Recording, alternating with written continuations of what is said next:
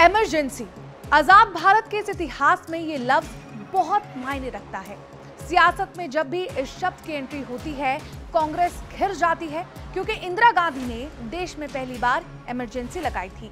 एक बार फिर इमरजेंसी की चर्चा है, लेकिन इस बार बात इमरजेंसी फ़िल्म की हो रही है, जिसकी रिलीज़ पर रोक लग गई है फ़िल्म की एक्टर, प्रोड्यूसर कंगना रनौत के साथ साथ गीतकार मनोज मुंतशिर खुलकर फ़िल्म पर लगे बैन के फैसले के खिलाफ अपनी आवाज़ बुलंद कर रहे हैं। सोशल मीडिया पर मनोज मुंतशिर ने एक वीडियो पोस्ट करते हुए कहा कि लगे हाथ हमसे एक और सर्टिफिकेट छीन लेना चाहिए कि हम अभिव्यक्ति की आज़ादी का सम्मान करने वाले लोग हैं। छोड़िए ये महानता का ढोंग। मनोज मुंतशिर का आक्रोश किस लिए है, आपको पता है। फ़िल्म इमरजेंसी की रिलीज़ पर रोक लगी तो मनोज ने कई ऐसे सवाल खड़े किए जो वाजिब भी लगते हैं। मनोज न सिर्फ़ सवाल उठा रहे हैं, बल्कि मनोज के मुताबिक फ़िल्म पर बैन अभिव्यक्ति की आज़ादी पर चोट है।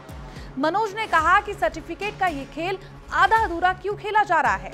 पूरा खेला जाना चाहिए, लगे हाथ हमसे एक और सर्टिफिकेट छीन लेना चाहिए कि हम अभिव्यक्ति की आज़ादी का सम्मान करने वाले लोग हैं। और महानता का ढोंग छोड़ दीजिए। मनोज ने डंके की चोट पर कहा कि फ़िल्म में वही दिखाया गया जो सच है और सच से किसी को आपत्ति नहीं होनी चाहिए। सिख समुदाय के विरोध को लेकर भी मनोज मुंतशिर बोले। उन्होंने पूछा कि जब इंदिरा गांधी की हत्या हुई तो उसे एक्सीडेंट तो नहीं कह सकते हैं।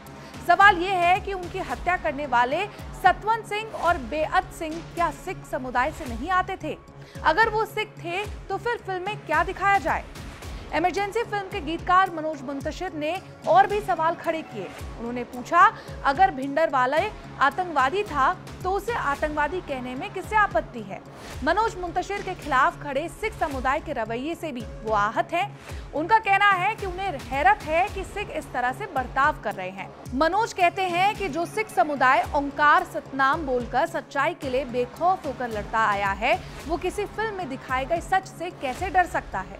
मनोज मुंतशर के मुताबिक सिख तो भारतवर्ष के इतिहास का सुनहरा पन्ना है। क्योंकि जब वो सिर पर केसरी पगड़ी बाँध कर निकलते हैं तो पूरा देश उन्हें सम्मान से देखता है। बहरहाल मनोज और कंगना दोनों चैलेंज कर रहे हैं कि वो फ़िल्म को बिना किसी कट के रिलीज़ करवाएँगे। इसके लिए उन्हें चाहे जैसी भी कानूनी लड़ाई लड़नी पड़े लेकिन देश के सामने इमरजेंसी का सच लाकर रहेंगे।